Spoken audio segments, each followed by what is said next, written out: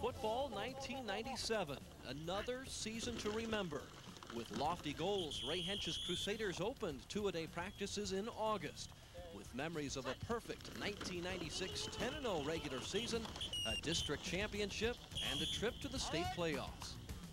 One week before opening the season, Helias joined three other teams at a first ever preseason jamboree, taking the place of the blue and gold scrimmage. Good preparation for the opener. Once again, Helias would open with perhaps the toughest test on the schedule against Camdenton. The two teams split last season, Helias winning the first but losing the last in the playoffs. Both of those games were in Camdenton. This year, they moved to Jefferson City. Think you always get the jitters. You got a lot of questions. You know, I think the Jamboree helped us answer some of the questions the other night, but you still, you know, you're still not for real. That was a practice the other night, and uh, uh, Friday night is for real, and uh, it, we're all a little bit nervous about it. I think uh, if you don't, then you're not a human being.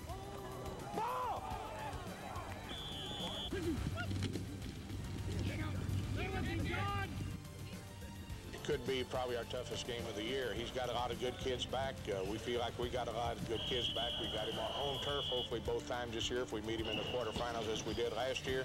Uh, we're just very optimistic uh, about the season. Friday night, September 5th, opening night of the high school football season, and no better matchup in the state than Helias Camdenton. All defense in the first half. Crusader Ryan Locke in on the sack. Helias quarterback Nathan Hogg found Locke on this nice pass play, but neither team would score until the fourth quarter.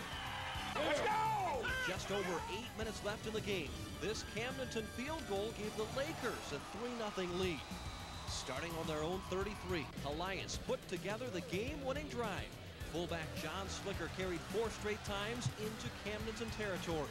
Then Stuart Hentges broke free on this 35-yard touchdown run. The Crusaders' first points of the season were huge. Helias held on for the 7-3 opening night victory. The Crusaders 1-0 heading to Kansas City O'Hara for a Saturday afternoon contest the following weekend. In Kansas City, the Helias offense rolled up some big numbers, at least in yardage. 332 yards on the ground, 22 first downs. But some other key stats kept the scoreboard numbers down. Four lost fumbles, two interceptions. The state's fourth-ranked Crusaders moved the ball all afternoon against the O'Hara Celtics. Stuart Hentges finishing with 173 yards on 23 carries. That helped set up this Nathan Hogg one-yard dive in the second quarter. Helias added a late Steve Tonkin touchdown in the fourth to beat O'Hara 13-3. Another strong effort by the Helias defense. Well, our offense hasn't got untracked yet, but our defense has played well, and two wins are two wins, and hopefully that we can get our offense untracked this week. You want offense? Stick around. Over the next three weeks, Helias put up bigger numbers than any other football team in Missouri. Starting here in Springfield, Stuart Hentges goes in. Then Steve Tonkin, then Nathan Hogg to Ryan Locke for a third touchdown. All of this in the first quarter. Parkview finally stopped Helias here in the second, sort of. Crusader kicker Mason Williams added the 34-yard field goal. Then back to touchdowns. Hogg on the keeper from 15 yards out. Nine touchdowns on the night for Helias. Wilson, Heat, Weaver, Beffa, and Lukanoff all found the end zone. Helias pounded Parkview 63-0. The fireworks had just begun heading to Fulton. We've had our matches over the year, but uh, quite frankly, they haven't been all that competitive here late. And, you know, to keep a rivalry going, you know, both sides have to win occasionally. And uh, hopefully that, uh, you know, that doesn't materialize. The only thing that did materialize, a Helias High School record performance in Fulton. The Crusaders, nine touchdowns in the first half alone, everything bouncing right. Matt Rackers ran in from six yards out. Stuart Hentges then ran in a couple first quarter TDs. This, a 35-yard jaunt that made it 21 to nothing. Helias, that was just the beginning. Rackers with just under 100 yards on seven carries carried in his second touchdown early in the second quarter. Even the Helias defense added to the scoreboard. Chris Wilson, a big interception return here, gave Helias a 63-0 lead at halftime, rolling on to the 75-7 win over Fulton, the most points ever scored in a single game in Helias history. And for the second straight week, the starters only played the first half. It didn't stop there. Back home the following week, the Crusaders crushed Kirksville. 22 offensive plays in the first half, resulting in nine more touchdowns. Stephen Tonkin opened the latest barrage with this 57-yard TD run. After a Hogg to Locke pass, Stuart Hentges scampered 49 yards, 59 to nothing at halftime. Helias went on to clobber Kirksville 65 zip, a three-game total of 203 to 7. They're kind of getting upset at us because they want us to make the games a little more exciting. They're saying, well, we're have to leave after halftime because you guys aren't playing anymore. I'd say we're kind of getting bored. You know, we're looking to play a tough, tough team like Rockbridge, so uh, it'd be a little different, and I'm looking forward to it. Well, I've never had three games in my life quite like these past three. Uh, again, what is the caliber of our competition? Uh, how good are we? Uh, we still don't really have the answer to that. Uh, hopefully this week against Rockbridge, uh, we'll have some answers. It was a battle at the bridge, at least for a while. On the road in Columbia, the final meeting between Ray Hentges and retiring Bruins head coach John Hennage. Two early Rockbridge touchdowns put the Bruins up 14 to nothing. Would this be the end of the undefeated regular season for Helias? The Crusaders answered that question in a hurry. Early in the second quarter, big play by the Satyr special teams. Derek Lukanoff blocked this Rockbridge punt. Ben Bish recovered in the end zone. Touchdown, Helias. Nathan Hogg carried in the two-point conversion. It was 14 to 8. After a slow start, the Helias offense returned to form. Look at Stuart Hentges in for the tying touchdown after the great cutback. It was 14-14. Helias would take its first lead on the night with this two-point conversion. Hogg to the air, hitting Ryan Locke. Later in the first half, the same two connected on this long touchdown pass. Hogg to Locke. And going for two again, the Crusader quarterback made it 24-14 Helias at the half. The Crusaders went to the locker room with that 10-point lead and went on to win by 17, 38-21, an impressive victory over rival Rockbridge. You know, this is a unique group of kids. I don't think uh, there's going to be a letdown. They, know what they have to do to win, and uh, they've been good for six games. Let's hope it carries on for at least four more in the regular season. The Crusaders carried on against Marshall in week number seven of the high school football season. Stuart Hentges scampered in from 15. Helias jumped on top of the Owls and never looked back. More Crusader defense, a punishing hit by Troy Sandbody. Helias kept the Owls off the scoreboard while racking up 50 points of their own. Hentges in again as Helias eased on to a 50 to nothing victory. Now 7-0 on the season heading into district play. Another football Saturday for Helias High. The state's third-ranked undefeated Crusaders celebrate homecoming, hosting Mexico tomorrow night. And the Satyrs have already been doing a lot of celebrating this season with seven straight W's. Helias should make it eight against the one and six Mexico Bulldogs. We haven't let the distractions of homecoming, folk building, that stuff. We encourage them to get involved in those activities, but you know their main focus is hopefully is on the football game. Uh, there's a lot of stuff going on during the week. You can lose track of what's real important, but I think we're focused and we know what to do to win the game. We're pretty excited. I mean, it's no different than any other game. We're going to stay at the same intensity level we've been playing all year. Messy night of football against Mexico. Despite the steady rain and heavy winds, the Helias offense still managed to rack up 377 yards and another blowout victory. Matt Rackers' 14-yard touchdown run was the only scoring in the first period. The teams combined, though, to fumble 16 times on the sloppy evening, 10 by Mexico. Helias went on to bury the Bulldogs 42 to nothing. Another shutout for the Helias defense. Crusaders moving to 8-0 on the season, ranked number three in the state poll. Next up, ninth-ranked Hannibal people who compare scores seem to think that we should have an easy time now because we've beaten everybody worse than they have. But you can throw that out. District championship, conference championships on the line. It's kind of crucial, and I don't know, it's just the way it works. You can win all of the games, and, and, and you can get into district play, and, and, it could be all for nine, and just be nothing. So yeah, it's crossed our minds, so we just got to stay focused. So this is a very important game to us and our fans and everybody here at Helias. With the conference title and basically the district title on the line, Helias played host to Hannibal. Good teams capitalize on opponents' mistakes, and that's exactly what Helias did on this night. Starting with this fumbled punt return, Crusader Joey Prenger recovered at the five-yard line. John Slicker carried in from there. At a two-point conversion, it was 8 to nothing. Helias kept Hannibal off the board thanks to more solid defense and Chad Castleman's foot. The Crusader punter averaged nearly 40 yards on four boots. Helias added a Hentges' second quarter touchdown run to give the Satyrs a 14-0 lead at the break. Helias struck for three third quarter touchdowns. Hogg to the air to Locke on the 11-yard connection. Just over a minute later, Slicker ran in from 30 yards. Hentges would add the final touchdown run as Helias went on to sink the Pirates 35-0. A game that many thought might be close.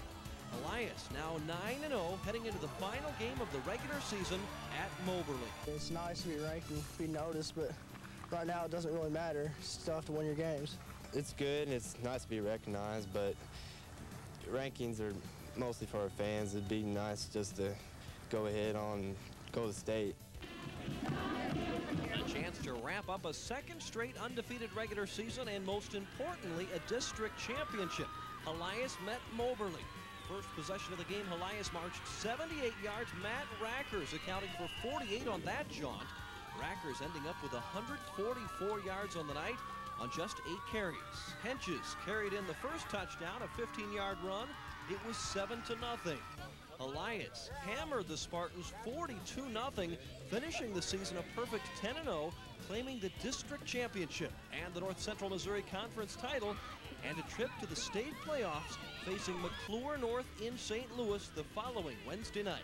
You know, if the St. Louis paper uh, is right, they feel that they are the number two team in St. Louis. Some people think they're the best team in St. Louis since they only lost a two-pointer to Pattonville, who's been number one in 5A all along. So we're going to have to have our game face on. The Crusader faithful followed their team as they had all season long. But this road trip to St. Louis didn't end like the 10 games before. Helias would fall to the stars of McClure North. The Crusader offense, which averaged 43 points, 370 yards a contest, could do little against the Stars defense. Helias ended 1997 losing 20 to nothing, finishing a season that wouldn't soon be forgotten. A year filled with huge blowout victories, school record numbers, and a perfect 10-0 regular season. First game of the season beating Camden, who we beat once last year, then they beat us, and that was kind of like more like revenge or something, and then we beat them. Then I guess Rockbridge game, going being down 14 nothing, or however bad, and then coming back and beating them. And then Hannibal, which everybody thought might beat us, and then it was kind of like tough little first drive, and then we go back and beat them like 35 to nothing or something. So I'll, I remember, uh, I guess, just everything about the whole season. Um, it's just wonderful getting together, being undefeated like that, um, just flat killing everybody. You know, I mean, um, that was great. I don't remember if it was this year or not, um, but I remember one time the whole line we were on, uh, we were on the driving sled, and we were on the track on the side. And Coach Jeffers was upset with everyone. He was yelling and screaming, and um, he forgot to get some other coaches on there, and uh, he just got us all pumped up, and he said, "Go!" and everyone just hit the sled and hit him, and he was off balance, and he just started flying backwards, and he started backpedaling, did like three somersaults. Everyone just stood there, didn't know if to laugh, and then he got up and he goes, "Oh, that should have been on America's Funniest Home Videos," and everyone just started laughing and rolling on the ground. It was, it was great. I like killing everybody, beating them bad. I mean, after the second game, I thought, well, we had like a close game then. And then everybody got together and started winning. It started scoring some points. Uh, it was a really exciting season both years since we've been starting feeling undefeated. It was, both years been pretty disappointing though, not reaching the final goal though. Yeah, it was a good year. Uh, it was my first year out, so it was, it was kind of special to me. I mean, it was just, I didn't really know how it was until I was actually in there, so it was different. whole season was, I mean, anything you could think you'd want, you know? You went undefeated, you beat everybody until, you know, in the big game, and then just you lose, so move on. The whole season as a whole was real great. You know, you can't really single out, but one game in particular I, I really liked was the Rockbridge game. So we were down at halftime, you know, and they were beating us, and we came back and we won, and they were a good team. And, but other than that, the whole season was great. You know, I, I mean, it's, it's kind of hard because most people like they come to the game, they expect you know, kind of a close game. They want to you know see that, that that neck and neck all to the end. And then when you come and you know you blow out teams 71, you know, just 69 to nothing and 75 to nothing, it's uh, it gets kind of, but you know, they like it. You know, they like the winning, so that's it's pretty good. But the whole season was great. Uh, my best memory is probably the opening game against Camden. We beat Camden after they knocked us out of the playoffs last year. That was a nice win.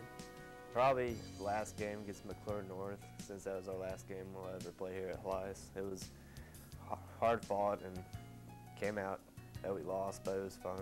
The Parkview game, opening kickoff, we get the ball back on first play, we score. That really kind of set the tone, I guess, for the rest of the season there. Kind of culminated, I guess, with the game against Fulton, you know, 75 points. Yeah, it was a good year. I sat out my junior year, so um, coming back for my senior year and going undefeated in the regular season was, it was just a blast. Well, I tell you what, it's it's got to be one of the best teams I've ever played for. I've played for public school teams, and I tell you what, the guys around here, they're just they're the greatest.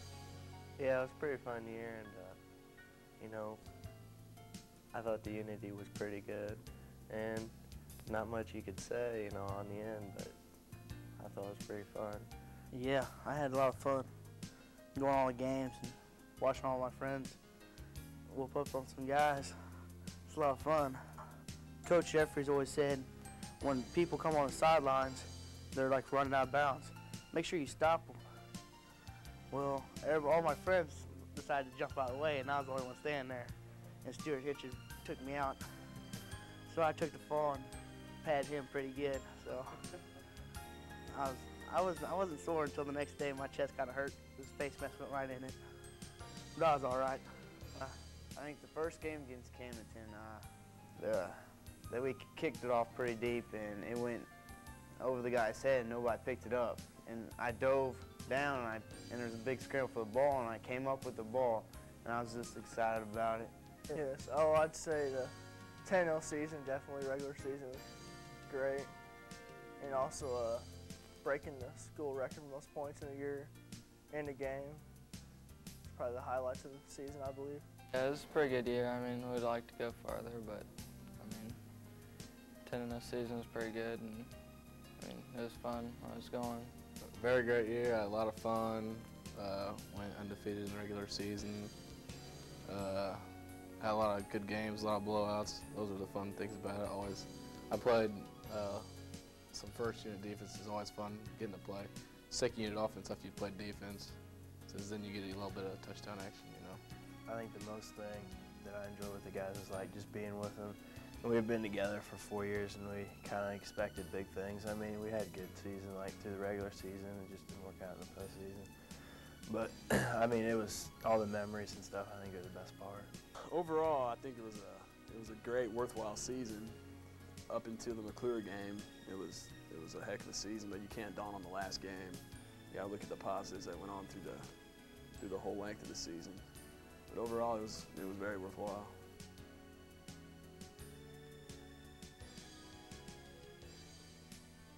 Dedication and like working hard and I guess like just friendships and stuff. And like everybody's like in a bond and stuff that you, not just one person can like win it, win something. It has to be a team. Learning to work together with people. Um, you know, you can't you can't be a good team unless you can work together with people and everyone together in a hard work and dedication and going for a cause and uh, you know learning not to give up and never give up. Especially like at Rockbridge, we were down and we, we could have just quit, but we didn't roll over. You know, if you don't quit, good things can happen, and we proved that. Well, you learn that if you work hard enough, you can achieve anything. And I mean, you know, be successful, and, and that's the same as football, wrestling, or any any aspect of life, you know.